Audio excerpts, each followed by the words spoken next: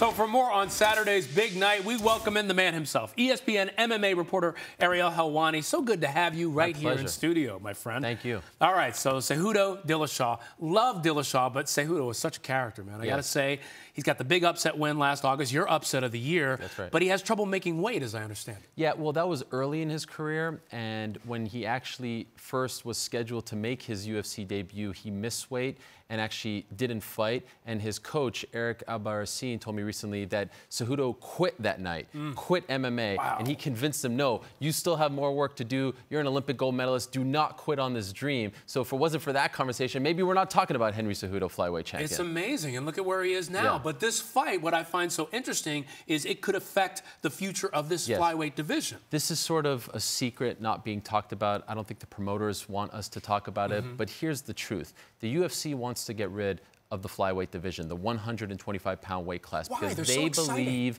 that it's just not marketable, that they're not selling tickets, that they don't sell pay per views, and the ratings aren't high when they fight. They had a man named Demetrious Johnson as champion for many years, and the fans, for whatever reason, didn't gravitate towards him. However, DJ loses in August to Henry Cejudo, and they viewed that, okay, as the beginning of the end. In fact, they traded DJ to an organization in Singapore. Mm-hmm. And so they're bringing TJ Dillashaw from 135 down to 125 to essentially phase this out. Henry believes that if he wins on Saturday, he will keep this division around. It will survive. And in fact, he has told me that fighters in his weight class, 125, have come up to him and said, I don't like you. I want to fight you, but on Saturday I'm rooting for you because I feel like you're fighting for my job as well. That's unbelievable stakes. That's bigger than a belt, in my opinion. I can't. I, I can't even imagine. It's crazy. Competitors going up to you saying, basically, "Please save our division. Please Yeah. save my livelihood." But that's what's at stake. That's what's at stake. And not only that, so if Cejudo wins and he's beating the 135 champion who's coming down, he then believes that he'll get a shot to fight for his belt at 135. So there's all kinds of drama going on. And this is a pay per view level fight. Yes, it's going to air on ESPN Plus. They're kicking off the partnership in a very big way. Mm-hmm. But make no mistake about it, like this is a very big fight. This is one of the best fights that the UFC is going to put on in 2019. Incredible. The other storyline here, Greg Hardy. Now. Yes. For those who follow football, we look at Greg Hardy, and the conversation has been, wow, he's going to fight on this card. He's going to fight on the same card as Ostovich. She went through abuse. You saw her saying, hey, I'm focused on my fight, not on him. For us, we think, well, there's going to be controversy.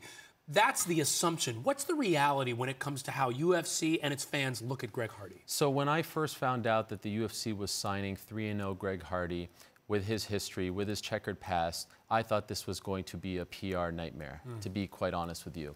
It hasn't been, and the fans haven't been all up in arms. In fact, they often tell me, quite frankly, to stop talking about his past because they don't know who Greg Hardy is. MMA fans live in a bubble. They're not very familiar with his past. You and I, sports fans, we know what he did and what he was accused and convicted of.